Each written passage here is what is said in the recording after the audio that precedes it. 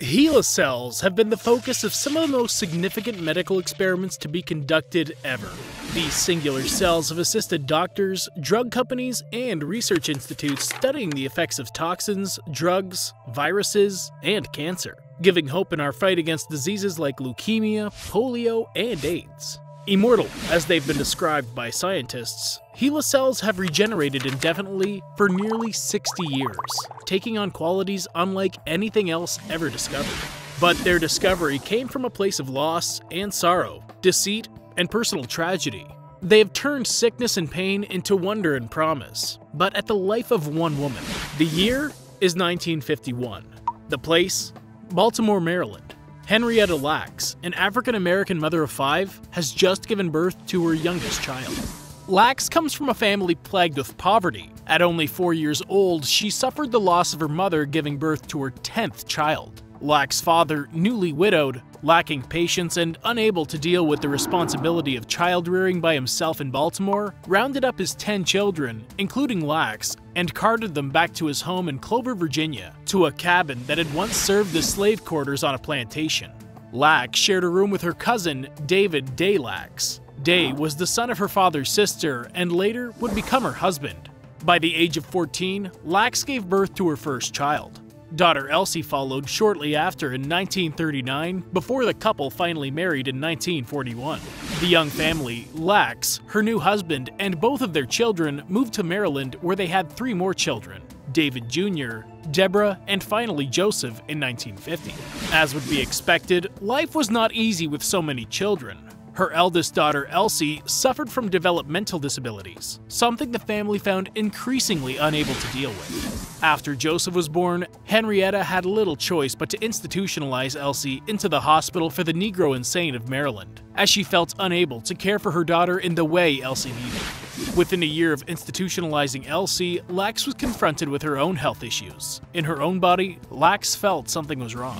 Birthing five children prepares a woman with a keen sense of understanding of one's own body, and the irregular bleeding and excruciating pain Lacks was enduring told her something was off. Way off. So, on January 29, 1951, she had Day, her husband, drive nearly 20 miles to the only segregated hospital in Maryland. Johns Hopkins Hospital. The public wards at Hopkins were filled with patients, most of them black and unable to pay their medical bills. After Lacks entered the hospital alone, she told the receptionist, I got a knot in my womb, one she discovered in a self examination. Since before she got pregnant with her daughter Deborah a few years back, Lacks had endured an intensifying pain in her cervix, which only grew worse throughout her pregnancy with her last child Joseph. Lacks was led to an examination room in a blacks only wing where the rooms had glass walls so that the nurses could easily see from one room into the adjacent one, as Johns Hopkins, as with every other institution in the 1950s, was racially segregated. The exam was to be carried out by one Howard W. Jones, a pioneer in reproductive medicine. What Jones found was an eroded, hard mass about the size of a nickel in the neck of her womb. This tumor, unlike other tumors, was purple in color and resembled grape jello, and bled at the slightest touch, Jones described. Lacks' tumor must have grown at an appalling rate, as no one in the last five months had discovered in either of her previous visits after delivering Joseph, Jones surmised before sending the tumor for testing. When the biopsy results came in, the 31 year old Lacks read nervously epidermoid carcinoma of the cervix, stage 1. Lacks didn't understand. She had gone to Johns Hopkins to treat various STDs she contracted from the bad blood David sometimes brought home after nights with other women, but she had never returned for follow ups, as indicated on the file Dr. Jones reviewed. As Rebecca Skloot points out in her book, The Immortal Life of Henrietta Lacks, Lacks just wasn't comfortable in medical facilities. She wasn't educated in the traditional sense of the period and didn't understand what most of the doctors and nurses would explain to her.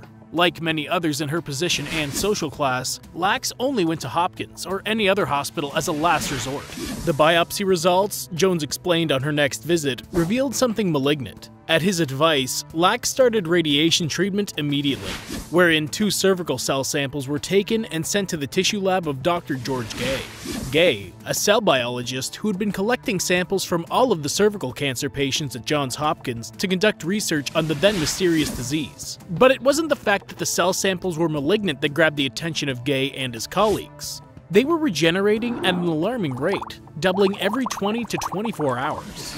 During her treatment, Lacks spent two days in the hospital. She had never stayed that long in a medical facility before. After the two day stint in the hospital, Lacks was sent home after she promised to return for more treatments within two and a half weeks. At one of her treatment sessions, she asked the doctor when she would get better and be able to have another child, much to the doctor's surprise. No one had informed her that the radiation treatments would render her infertile, which was already a well established practice that Dr. Jones himself wrote a paper on. The note in her file about this incident says Lacks expressed had she been told about this from the beginning, she wouldn't have gone through with the treatments. Unfortunately, that story is far more common than we might hope. Impoverished black individuals have been systematically oppressed for hundreds of years and continue to be to this day. J. Marion Sims, an American often called the father of gynecology, for example, used black women who were enslaved to experiment with potential remedies for fistula, holes between the vagina and the anus, without the use of anesthetics or sedation. His patients suffered years of painful torture and agony. To this day, black individuals are often given less pain medication for injuries or procedures than white individuals, due to a misconception that they inherently have thicker skin, according to NPR. Black women are also far more likely to die during pregnancy or in childbirth than white women. Lacks died in Johns Hopkins Hospital on October 4, 1951, at the age of 31. Her cells, however, carried on her legacy and are still widely used today. Gey isolated and multiplied the specific cell line with the most longevity and durability, creating the HeLa, taking the first two letters of her first and last name, strain that was instrumental in developing the polio vaccine and can be found in almost every lab. In 1955, the cells were cloned due to increased demand.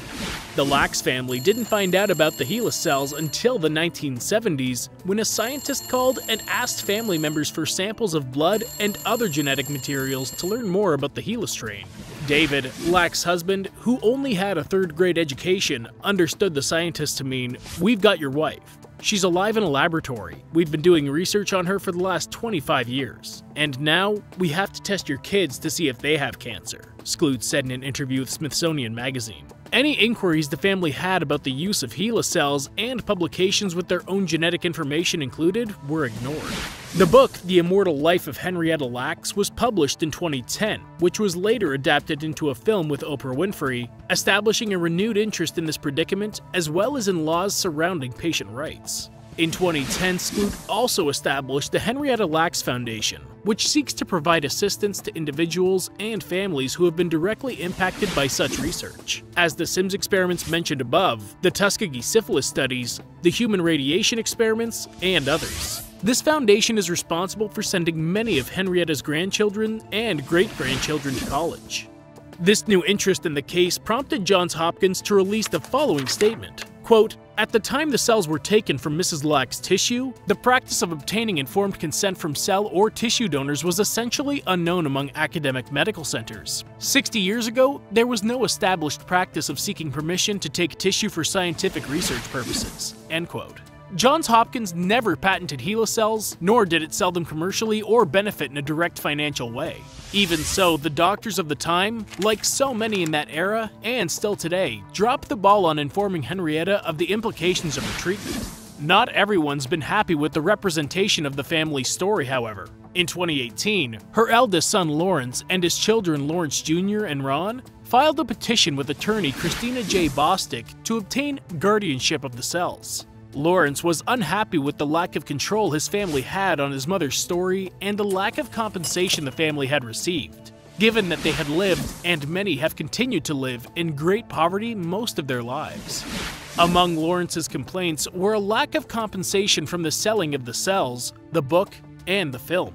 Some members of the family received compensation for their help with the film, but nothing more than a salary and no one other than those who helped on set. Lawrence was suing for mistreatment, theft, misappropriation, and for profits earned without consent. He filed this petition in Baltimore County in July of 2018. Had she been white and financially wealthy, would Lacks have been asked about the donation of her cells? That we don't know.